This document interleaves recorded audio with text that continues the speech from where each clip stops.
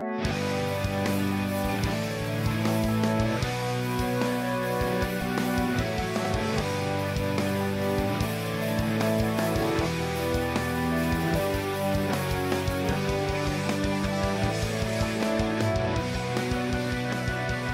going on, guys? This is the Erie Better Beer back with another blind beer review.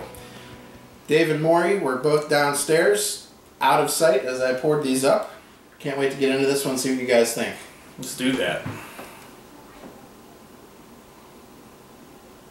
Well, I smell some hops beneath some amber malts. I mean, those are the do, two yeah. things jumping out at me: is an earthy hop character and some big amber malts. Yeah. I mean, if uh, based on the aroma, if I had to take a stab, I'd say a hoppy red ale. Yeah, that's what it smells like to me too. I mean, the hops aren't blowing up in your face, but you know, I'm thinking like, you know, just a nice hopped up red ale. They are the front runner though, and I'm mm. getting you know a hefty dose of some sweet red malts, Yeah. maybe some ambers. I gave the glass a little swirl and some caramels jumping out at me now. Yeah? Oh yeah. Let me see if I can get a little of that caramel action. Yeah. There's even a hair of a butterscotch. Yeah. Smell. And either of those buttery candies, really, after I gave it a swirl, it came shooting at me. But still, those hops are. Oh yeah. Pretty Hops, And earthy. they're like those uh like sticky hops. Oh yeah. It Not smells those like- real fruity tropical guys. These are these real sticky, deep, you know, hops. Yeah. Cheers. Cheers.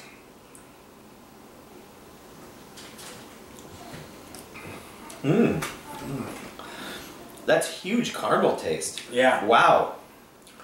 Yep. Nice amber malts and caramel malts really jumping out at me. The hops are definitely there, but not as much as they were on the aroma. Dude, I was taken back by the amount of caramel butterscotch flavor I just got on that first sip. And the lack, I didn't get a ton of hops, not based on what the nose indicated. I mean, it was like a butterscotch candy. And for me, as I'm drinking here, there's definitely more of a, a malty forwardness to the taste, but the hops I'm getting are all on the back ends, and they do give kind of a nice lingering bitterness. Mm-hmm. Yeah, I'm really liking this. I definitely am still getting the hops. I am too, Yeah, but I mean, I'm just saying there. that butterscotch flavor from the malts is Oh definitely. yeah, the malts really more shine forward for me, yeah. You know. In comparison, in, yeah, in comparison to the aroma, the hops are not quite as full. No, but still very noticeable. Do you think anything? Uh, has this been aged in anything? Has it been? Do you think this is a fresh beer? Is it? Has it been sitting for a while? I I wouldn't think it's been aged in anything. I don't think so. I mean, at most maybe some oak spirals, but even that I'm doubting. I mean, to me, it tastes like a red ale. it's too um, clean. That be maybe fair. has a little bit of age on it, but again, I don't know what the beer is, so it's it's hard to say if this was intended to be just at the level of hoppiness that it's at right now, or. Uh, but there's definitely some hops in this beer. I don't think it was aged in anything. It's too clean. I don't get any barrel character.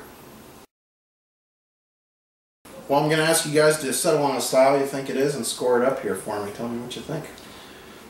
Well, I'll go first. Uh, I definitely am thinking some sort of hoppy red ale as mm. my style, and I'm gonna go with a. I really like it. I'm gonna go a four out of five on this. I'm really liking it. I love that butterscotch character. I like the hop background. I love the malt hop interaction. I think it's a good beer.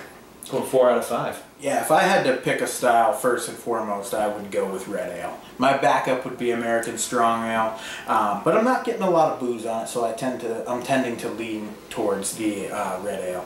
I'm gonna go just a notch below Dave at a 3.75, but I st- definitely think this is the, a delicious beer. Uh, it's it's it's great. All right. I'm going to agree with Dave. I'm going to give this one a 4 out of 5.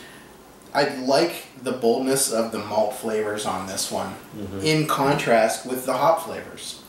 Um, especially when you hit when you smell this beer, you think, "Oh, I'm going to get blasted by hops on this one," with a nice solid malt background. And instead, it's kind of the opposite. Yeah. You get blasted by some sweet malts, and there's a nice solid hop background. Mm-hmm. So yeah, really enjoyable, pretty well balanced. I like it. Four out of five. Okay, this beer is an AleSmith Evil Dead Red. Oh, Nicely nice. done. Wow. Also in the se- in the spirit of the season here.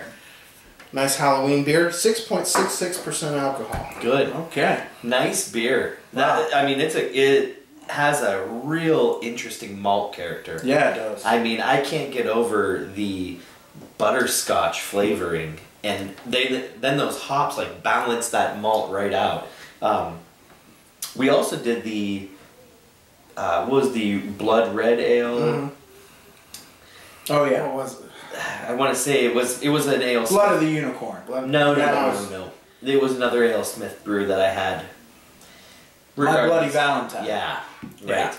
And that I could see that one had a lot more age on it though than this. And Mm-hmm. good one. Uh, Ale Smith's a great brewery and definitely a great beer from them.